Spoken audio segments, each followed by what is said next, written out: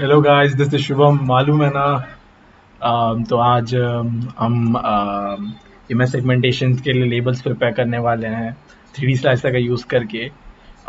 सो um, um, ये मैंने three D slicer खोल लिया और इसमें मैंने एक इमेज ऑलरेडी लोड कर दी है। Uh, आप डिकॉम फॉर्मेट या पी एन जी फॉर्मेट में इमेजेस लोड कर सकते हैं थ्री डी स्लाइसर में। Uh, मैं आपको लोड करने का भी ट्यूटोरियल बता देता हूँ। यहाँ से जाके सीधा आप लोड कर सकते हैं फाइल्स को। तो यहाँ से एक भी फ़ाइल सेलेक्ट कर लिए कोई भी और वो सीधा लोड हो जाएगी। तो एक बार जब लोड हो जाए तो उसके बाद इधर जाके जस्ट ऐड सेगमेंटेशन एंड तो मुझे यहाँ पे बस ब्रेन इस इमेज में से सिर्फ़ ब्रेन निकालनी है।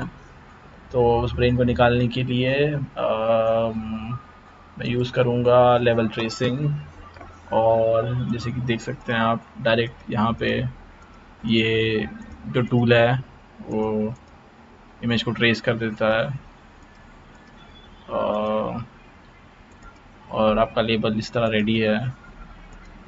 Without any hassle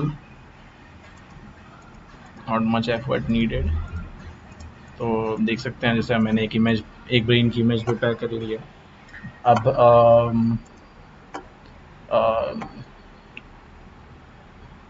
mask volume tool में जाके वहाँ पे फिल आउटसाइड सेलेक्ट करके अप्लाई कर दीजिए। और इस तरह आपके पास सिर्फ़ ब्रेन की इमेज अवेलेबल हो जाएगी। इसी तरह आप सारे इमेजेस को करके एक लेबल डेटा सेट बना दीजिए एक सेगमेंटेड इमेजेस की और अनसेगमेंटेड इमेजेस की। उससे आप इमेज सेगमेंटेशन मॉडल ट्रेन करने के लिए यूज़ कर सकते हैं। जनरली हम यूनिट मॉडल यूज़ करते हैं। आ, हम अपने प्रोजेक्ट के लिए मोना यूज़ कर रहे हैं तो मैं वही रिकमेंड करूँगा आपको भी। एंड आई गेस वीडियो देखने के लिए थैंक यू टोटली इतना ही था. अगर आपको पसंद आया हो तो प्लीज़ लाइक कर देना. एंड सब्सक्राइब uh, भी कर देना uh, अगर करना हो तो. So thank you